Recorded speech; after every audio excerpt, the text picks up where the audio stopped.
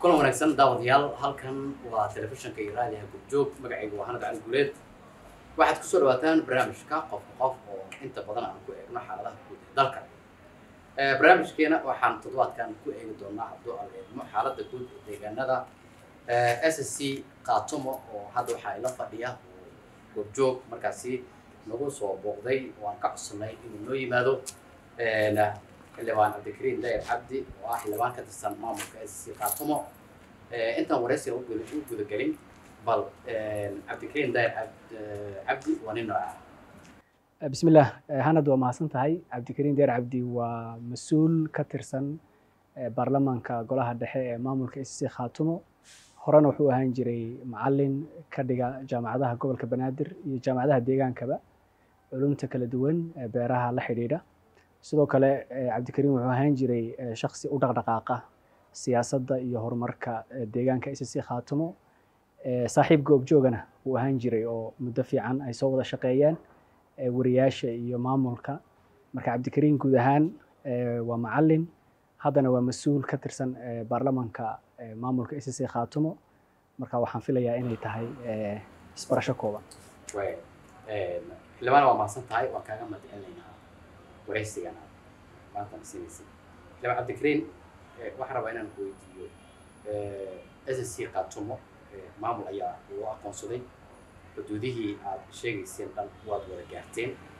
Eh, waxaa la filayay in wada hadal aad la yeelataan maamulada dhinacyada idinka jira sida somaliland. Maxaa sabab weli u ah in colaad halka ay ka sii socoto hanada waa mahadsan tahay colaadda eh, hadda deegaanka ka taagan eh, ma aha mid anagu eh, jecelahay ama sabab u nahay. Annagu waxaan nahay dad eh, mar walba difaac ku jiray xuquuqdooda iyo qadiyadoodana u doodayey baaqyadii nabadeed ee isimada deegaanka iyo madaxda maamulka s c khaatumo hogaamiye firdhiya ugu horeeyo iyo shacabkay waxgaradku direen ayaanu weli ku taaganahay. Waxaan rajaynaynaa inay dhaqan gasho oo meeshaas nabad iyo xasilooni laga gaadho iyadoo la yahay laba maamul oo daris ah oo is-ixtiraam iyo wada shaqayn ay ka dhexayso marka colaadda ma aha jida anagu doorannay tii horena waxay ahayd mid nalagu kalifay oo weerar eh, deegaankayga lagu soo qaaday. Midda hadda socotana waxa weeye mid weli maamulkaas iyo madaxweynahooda Muuse Biixi ay doonayaan inay dib eh, deegaamadii laga saaray ay dib u qabsadaan. Marka asalka colaadan waxa weeye eh, maamulkii Muuse ee Somaliland ayaa doonaya inay deegaankii laga saaray sideed bilood colaadu ka socotay inay dib ugu soo laabtaan mar kale marka annaguna weli difaaci ayaanu ku jirnaa ma rabno inay eh, deegaanka iyagu uu mar kale gacanta u galo eh, maamulka Muuse Biixi marka asalka colaadu intaas weeye. Marka waxaa waa waa dhinaca deegaanka ayaa lasku hayaa. Maamulka deegaanka oo lasku hayaa. Waaya maamul kumeel gaar ah ee s c. Door intee leeg ayuu maamulka s c ku leeyahay. Dagaalada hadda sii socda idinka doorkiina ku leeyahay. Hal dhinac keliya door mala ma yeelan. Eh, doorka aan ku leenahay waxa weeye door isdifaac Eh, haddii uu soo weeraro oo deegaan aad ku dagaalantay oo sideed bilood ay kugu qaadatay inaad ka saartid eh, maamulka kugu soo duulay eh, een, hadduu hadduu mar kale qorsheynayo inuu deegaanka dib ugu soo noqdo doorka aad ciyaari karta waxa weeye inaad isdifaacdid oo aadan u ogolaanin inuu mar kale deegaanka ku soo noqdo. Marka annagu waxaanu ku jirnaa difaac iyo diyaargarow buuxa laakiin taa macnaheedu maaha inaan u soconno deegaan ay gaar u leeyihiin eh, maamulka muuse biixi ee Een, maya wax weeraranu qaadnay haba yaraatee ma jirto. Deegaanadeena ku sugantihiin deegaanka ayaan ku sugannahay waaya waxaa jira aragti ah eh, in maamulka qaatumo ay horseedi karto xaaladaheeda xaalad hadda lagu jiro. Dagaaladan ay noqon doonaan kuwa daba dheeraaday oo xasilooni iyo nabad eh, muddo dheer deegaanadaas ka jirta hadda u muuqato in meesha ka baxayso. Aragtidaas idinka waa walahi ilaahay ka baryi mayno colaadan inay sii socoto. Eh, waana ka taxadaraynaa waxaan ku dadaalaynaa inay soo afjaranto bini aadanka lagama waayo dad maslaxadda iyo wanaagga iyo garashada fiican ka shaqeeya. Waxaan rajaynaynaa maamulka hargeysa somaliland in dad wanaag iyo walaaltinimo iyo derisnimo fahamsan qiimaheeda inay ka soo baxaan oo nabadda anagu mar walba diyaarka u nahay ay nala qaataan baan rajaynaynaa.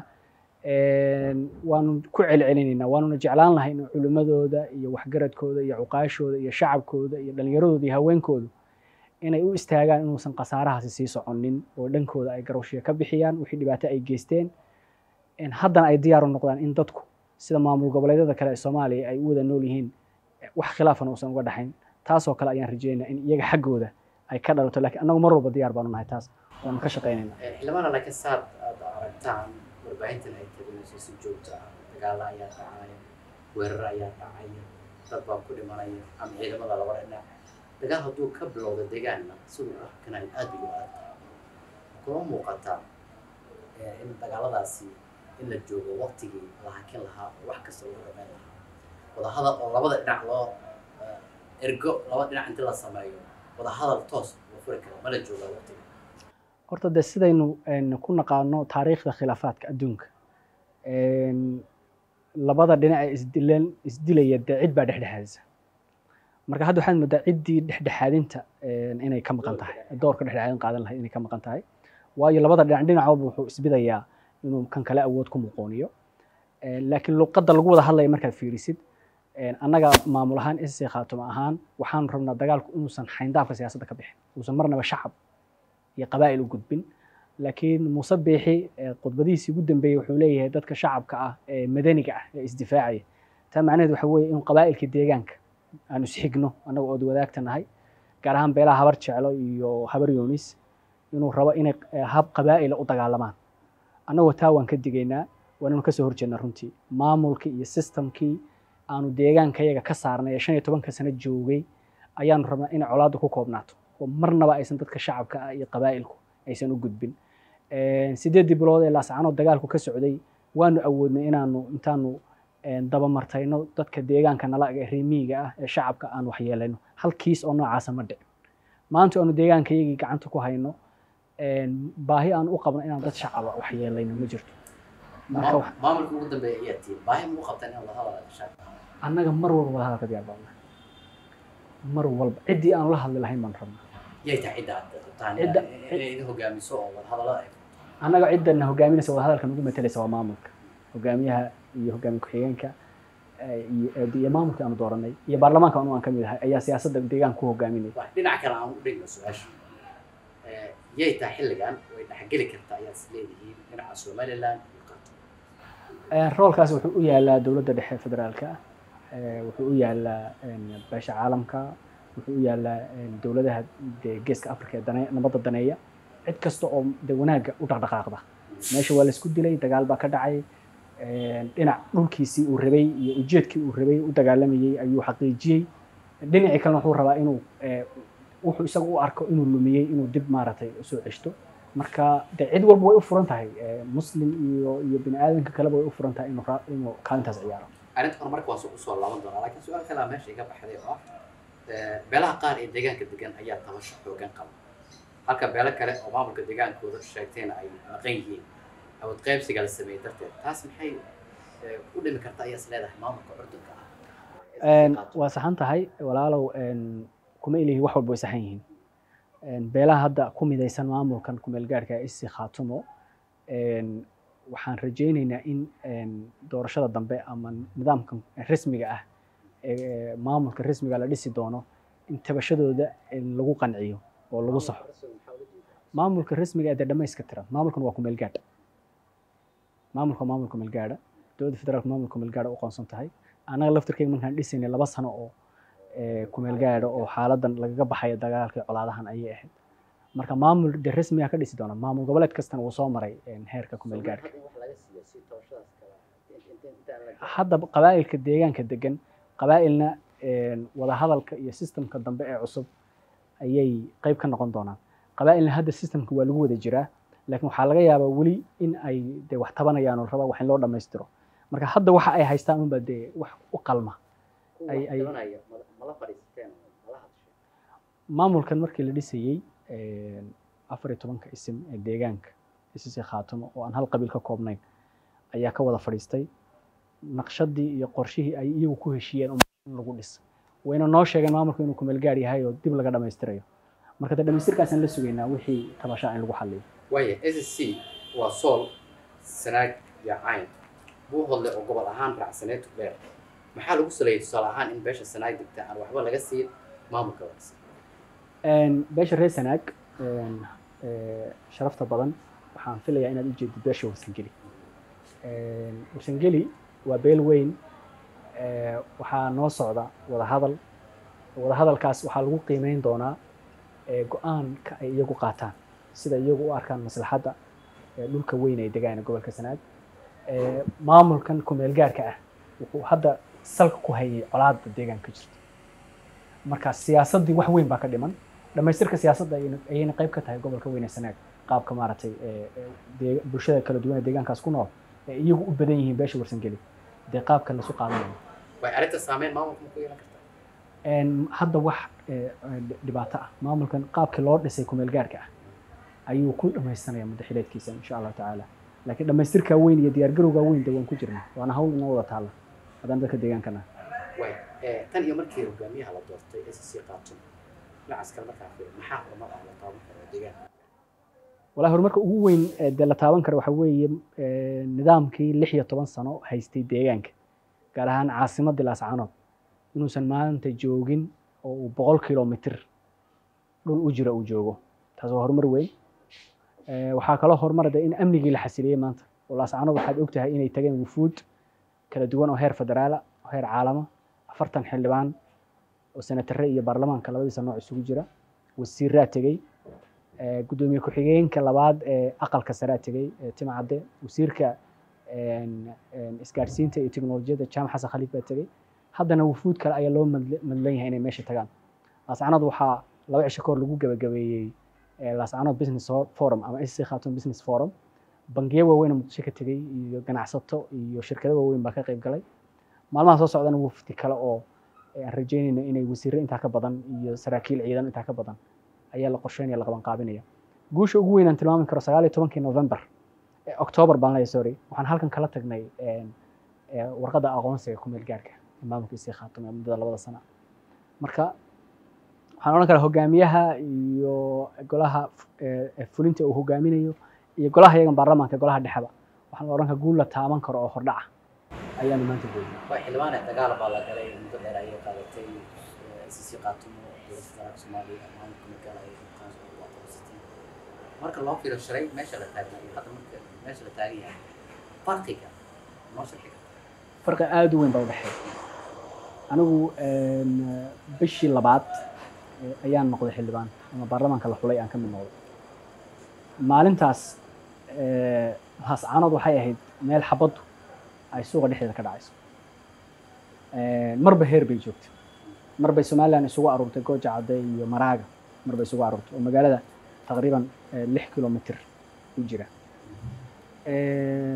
Mar heer waxaa la gaadhay dee maaragtay shacabkii magaalada ay ka wada qaxeen oo magaaladu ay ciidan isugu soo hadheen maantana ilaahay xamdigii jaamacadihii baa furan iskuulladii baa la aadayaa isbitaaladii baa shaqaynaya ganacsigii baa shaqaynaya. Nolosha caadigahayd baa lagu soo laabtay. Cadowgii aanu deegaanka ka saarnayna boqol kilomitr in ka badan ayaanu hadda isku horfadhina. Oo welibana annagu aan difaac ku jirnaan leenahay warba halkiina allah idinku ammaansado iimaansado bartiina jooga. Marka farqiga intaa la eg waxaan filayaa inaad inaad dareemi karto daawadayaashan waan filayaa meesha laga yimid iyo halka loo socdo inay ogaan doonaa waxaana su'aasha inaan weydiiyo oo la xiriirta dagaal marka dagaal ayaa dhacay intaan dagaalka ku gudbay maxabis ayaa labada dhinac ay kala qabsadeen xaaladda maxaabiistu halkee maraysa maxaabiista waxaan u samaynay daryeelkii ugu wanaagsanaa waad garan kartaa nin magaaladaada iyo deegaankaaga sideed bilood kugu dilayey kugu dhibaateynayey kugu duqeynayey welibana markuu ku dilayay caddaymo iska duubayay laba boqol oo kun dad ka badanna magaaladaada deegaankaaga ka barakiciyey haldoorkii magaalada oo abwaan jaamackeedii ugu dambeeyey iyo amiirkii dilay. In isagoo nool aad qabatid isagoo noolna uu maanta dee maxbuus ku yahay oo daryeelkiisii iyo dawadiisii iyo wax walba aad siinaysa dee intaas waxaan malaynayaa inay inay ku filan tahay maxaabiistaas maxaabiistaas hal qofoo ka mida lama dhibaataynin. Nasiib wanaag hal qofoo ka mida ma dhimanin. Waxaana rajaynaynaa in maxaabiistaasi ay nolol ay hadda haystaan mid ka wanaagsan. Loo sii dadaalo mooye inay wax ka xumaadaan ma rajaynayo insha allah inaad wareejisaan mada qorshaysan tahay adduunka dee qaab baa maxaabiista lagu kala lagu kala wareegaa. Wixii madax ah oo saraakiil sarsare ah waa la maxkamadeeyaa dembiyada ay geysteen baa cadaymada loo hayaa lagu maxkamadeeyaa oo cadaaladday wajahaan. Wixii de iska askari caadiyana dee marka qadiyaddii laysku hayay laga heshiiyo nabad rasmi ah ay dhacdo. Ee dhinacyadu ay ay ku qancaan mid walba inay tan kale nabad geliso. Ayaa maaragtay de maxaabiista lala marka maxaabiista qasab saraakiisha. Waa saraakiisha cadaaladda wajahaya dadkii maalintii somaliland deegaanka soo weeraraysay labada kun iyo saddexdii saraakiisha hogaaminaysa qayb ka mid aan hayn taa macnaheed waxa weye lix iyo tobankii sano dhibaatadii deegaanka ka dhacday ama buuhoodla iyo kalshaal ha noqoto ama laascanood ha noqoto ama xudun ha noqoto ama tukaraq ha noqoto ama kalabeydh ha noqoto ama wurid intaasoo dhan dhibaatooyinkii ka dhacay raggii go'aamada lahaa ayaa jooga een, waa- su'aashaada waa fiican tahay. Waxaan rabaa dhegeystayaasha iyo soomaalidaba inaan ka qanciyo waxa laysku hayo wax sideed bilood ka weyn weeyaan. Taariikhdan somaliland koob iyo sagaashankii iyo intii ay s n m ahaayeenba ilaa iyo siddeetan iyo iyo kowdii. Dhibaato badan bay iyagoo jabhadda s n m na dhibaato badan bay deegaanka ka geysteen. Iyagoo maamul een, ama goonigoosad isku magacaabay koob iyo sagaashankana dhibaato badan bay ka geysteen marba heer bay dhibaatadaas ay, soo maraysay waxaase ugu weynaa dhibaatadaas ti ay laascanood ka geysteen ee, dilka qorshaysan ee madaxjabiska lahaa dadka tiradoodu boqol kuna dhowdahay ay ku dileen Een, iyo dee dadkii shacabka ah mudaharaadayey ee ay laayeen dilwadareedka u geysteen duqaymihii barakicintii dhibaatada intaa la eg maamulku deegaanka ka geystay. Tii karshaale buuhoodle oo dad iyaguna laba boqol oo qof ku dhow ay ku dileen. Marka dhibaatooyinka intaa la eg saraakiishii hogaaminaysay ee amarada bixinayay qaar ka mid a ayaan hadda gacanta ku hayn marka dhibaatadaas saraakiisha geysatay ka hor inta dagaalka uusan dhicin oo kacdoonka uusan bilaaban ayaa lagu qabtay dagaaladii ka ha dhacay ha. Kuwaas ayaad qabtaa inaad maxkamadaysaan ay xaq u leeyihiin ha. kuwa kale aad sii daysaan Dee ku- cii- saraa- ciidanku sidiisa waa labo. Ninna waa nin la amro oo askari ah oo caadi ah.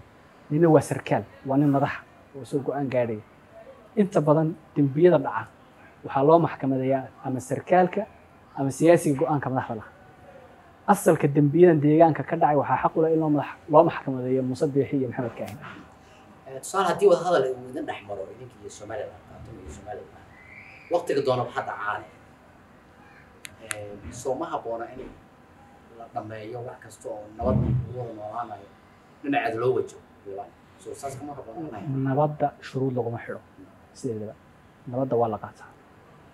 Haddii deegaankaas nabad lagama laga rabo annagu nabad si nabad loo helo inaad wareejisaan saraakiishii ciidamadii aad wareejisaan kadib wada hadal la furo qorshahaas ma ku jira dee horta saraakiisha iyo maxaabiistan hayna yaa badan.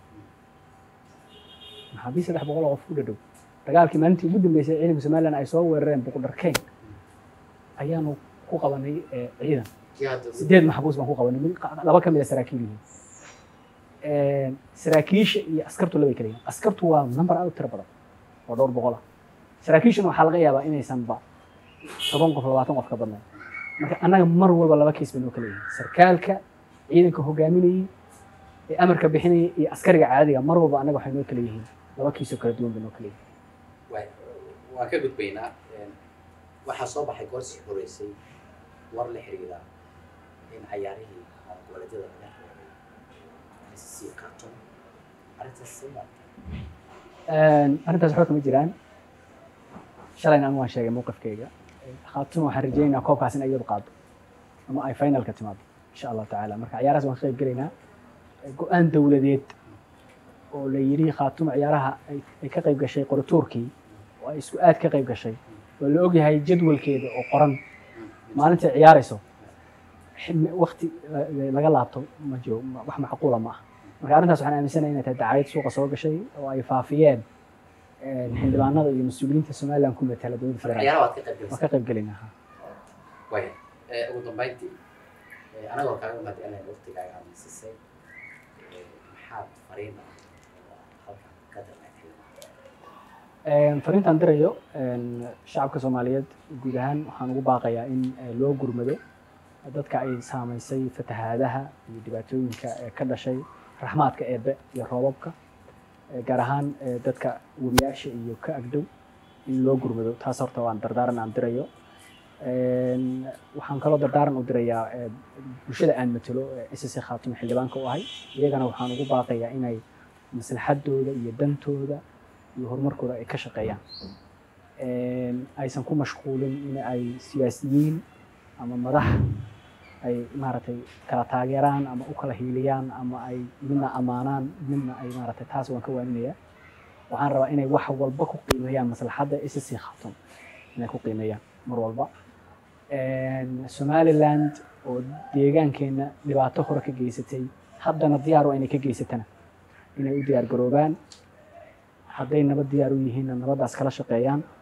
Haddii kalena aan la weerarin haddayse soo weeraraan sida maaragtay diinta islaamka iyo iyo iyo shuruucda bini aadamku ina farayaan inayna gacmaha ka laaban ay iska difaacaan deegaankayga taas ayaan u- u dardaarmaya maamulka kumeel gaarka aan ka tirsanahayna waxaan rajaynayaa in labadaas sano shaqadii naloo doortay iyo shaqo ka wanaagsan aan qabanno deegaankan aan u diyaarino in maamul goboleed rasmi ah oo reer sool iyo reer sanaag iyo reer cayn oo isku qanacsan oo isku dhammaystiran oo aan waxba kala tabanayn insha allah inay maamul goboleed rasmi oo buuxa oo mustaqbalka jamhuuriyadda federaalka soomaaliya meeshuu aadaya go'aama ka gaadha inay inay wada gaadhaan ayaan rajaynayaa. Taariikhdii ay soo mareen ee, dhulkooda in dhul lagu muransan yahay laba maamul ka dhexeeyana inay kaga dawoobaan halgankii ay xaqiijiyeen ay ka madha dhaliyeen ayaan rabaa ummadda soomaaliyeedna inay nala fahamto oo annaga somaliland maamul ahaan iyo siyaasad ahaan baanu isu diidana qabiil ahaan isuma diidanin waa qabiil soomaaliyeed. Wada dhalashaa naga dhexaysa derisnima hore nooga dhexaysay nagana dhaxayn doonta. Adduunka inta ka dhiman baanu deris ahaan doonaa. Colaadaas muuse biixi iyo maamulkiisa ay qabyaaladeynayaan beeshaas hargeysa iyo burco waxaan leeyahay ha ku taageerina muuse biixi muuse inuu wuxuu rabaa dadkani ay taariikhda inta weligood soo wada deganaa inay inta uga dhiman mustaqbalkooda inay colaad ku dhammaystaan ha ku taageerina muuse isagaa mustaqbalkiisu dhammaaday idinka mustaqbalkiina yuusan waxyeelin oo dhaawicin baa odhan lahaa ciddii kale ee soomaaliyeed ee muslima ee bini aadana ee nimankaas caqliga u soo celinaysa. Oo odhanaysa dadkan awalna waa dhibaatayseen dhulkoodii baad ku duusheen. Madax jebis baad dadka galayseen.